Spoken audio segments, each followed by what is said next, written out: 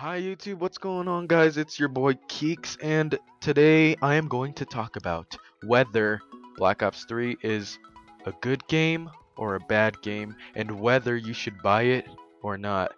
First of all, I just wanted to say that I'm playing Advanced Warfare. Yes, I am. I'm sorry about that, but it had to be done. I was bored, okay?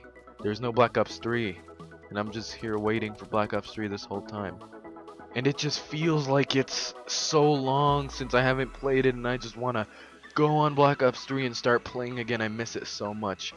But I don't want to get off topic here, so let's get right into the video.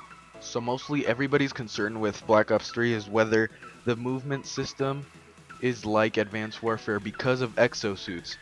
But I'm just telling you right now, these in Black Ops 3, I think they're called thrust thrust jumps these are not exos, okay? They are nothing close to what Advanced Warfare's movement is.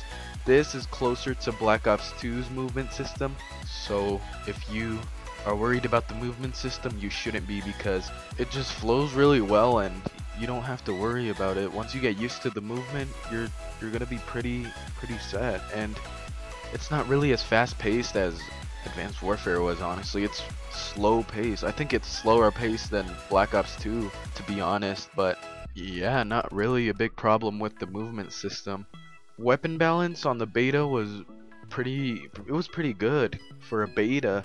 I mean, they got to fixing things right away because the M8 was overpowered, overused in the beginning, but Treyarch decided to fix it, and I mean it's pretty good. Man-O-War, it's it's pretty good, but you can still get outgunned by a bunch of guns if you know how to use them well. So weapon balance wasn't really a problem, except for like two guns that were really underrated and underpowered. Moving on to score streaks. Uh, score streaks were really good in this game. They were very viable, like in Black Ops 2 and Black Ops 1. They were really good nothing like Advanced Warfare and Ghost. Advanced Warfare and Ghost, they were they were so bad. Just remembering, I can't even remember the score streaks because of how bad they were. Nobody really used them. And you know, a lot of people go on pubs to get score streaks and for the past two Call of Duties they weren't there. And that's one of the things that Call of Duty is known for, getting score streaks and not having good score streaks kind of killed Call of Duty for the past two years. The beta had some lag issues, but one of my major issues was the black hat. I could literally go on and rant about this thing for like hours. Like I could keep going on and on about this thing. So annoying.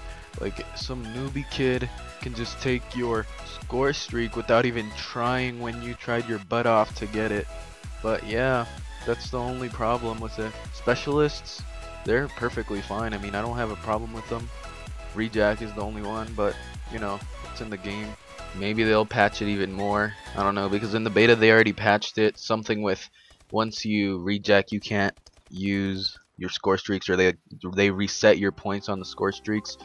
But you know, overall this game is really good so far. Not really many problems and if you're thinking about buying it, yes, buy it. Don't even say no, just go to GameStop, buy it, get it play it, and I guarantee you, you will have the time of your life. And yeah, that is it for this video. If you're looking forward to buying Black Ops 3, go buy it when it comes out, or if it's already out when you're watching this video, go buy it. It will be fun. And yeah, that's it. Goodbye. Thank you guys so much for watching my video. If you guys liked it, don't forget to leave a like, and also, don't forget to subscribe. Stay sexy, everybody.